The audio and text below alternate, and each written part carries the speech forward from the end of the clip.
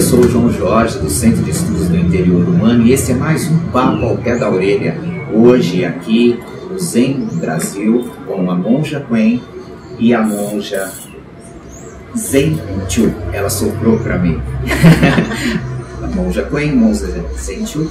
Dá um olá, monja, para nossa audiência, fala um pouquinho brevemente sobre é uma alegria poder estar aqui, saber que a gente está trabalhando por uma causa que é maior do que o nosso eu pequeno, que a gente está trabalhando com esse eu maior e procurando motivar pessoas a esse autoconhecimento, a descobrir qual é a essência do ser, a essência da mente, a essência da vida, para que possamos viver melhor e contribuir melhor para a vida humana, para a vida de toda a natureza, para a vida do planeta e do sistema, do sistema solar do universo.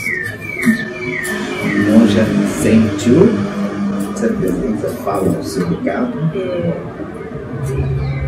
dizendo que eu minha mesa aqui, eu acho que o ambiente que, que você gostaria de passar é o seguinte: lembre que temos muitas notícias ruins do universo, do ser humano não presta, é, os sentimentos baixos, mortes. Assim como tem pessoas que matam, tem pessoas que passam por experiências terríveis, não ficam não só, não só sobrevivendo, querem ajudar, que, para que o caminho das pessoas que possam passar esse, tem que fazer esse caminho, seja um pouco mais leve, tenham esperança, fé e que é possível. Então, enxerguem também essa parte linda dos seres humanos que está em todos nós. Não deixem se deixar levar, sabe, por ninguém. Olhem dentro de vocês e se regatem na beleza, a dignidade e a amorosidade que está em todos nós.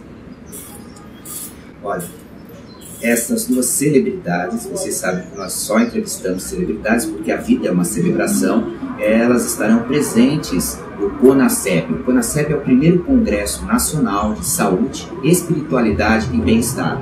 E você pode se inscrever, ele é 100% online, gratuito. Basta você se inscrever. Aqui embaixo tem um link, clica nele, se inscreve e basta estar diante de um tablet, de um celular ou de um computador e assistir gratuitamente essa enxurrada de bênçãos e de amor e carinho rumo à saúde, espiritualidade e bem-estar, tá?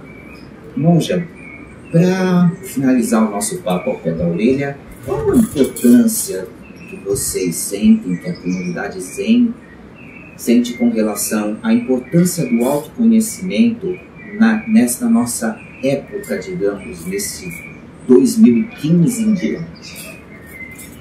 Ah, veja que interessante, o fundador da nossa ordem do século XIII, ele dizia o seguinte, estudar o caminho de Buda é estudar a si mesmo. Estudar a si mesmo é esquecer-se de si mesmo, esquecer do euzinho. Euzinho que é o nosso ego, ele é importantíssimo, mas ele tem sua função e posição.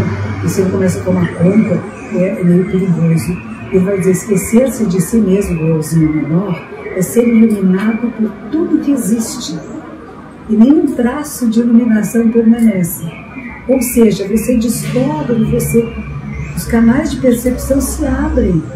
E você é capaz de cuidar com mais respeito, com mais ternura, não só de você, mas de tudo à sua volta. Porque tudo é você. Tudo que os seus órgãos dos sentidos captam, entra, passa a ser a sua mente. E como é que você cuida? Quando a gente fala de compaixão, o budismo se baseia em sabedoria e compaixão. Mas quando você está falando de compaixão, é como se você machucou o dedo, você fala, ai, eu vou cuidar desse dedo.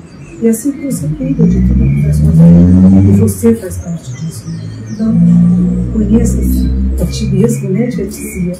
Mas conhecer a si mesmo é conhecer a vida do cosmos, é conhecer o outro, é conhecer a natureza, e conhecer o sagrado. Nós chamamos isso de natureza é entrar em contato com o íntimo dos íntimos. Eu vou perguntar para a Feira Católica, mas assim, é o dulcíssimo. que bonito, bacana isso, muito interessante.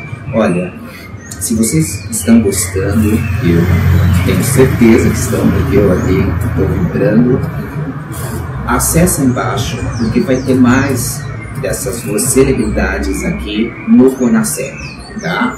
Inscreve-se aí embaixo e ajuda, divulga, compartilha, tá? Faz isso aparecer porque muita gente pode se beneficiar disso, não só você.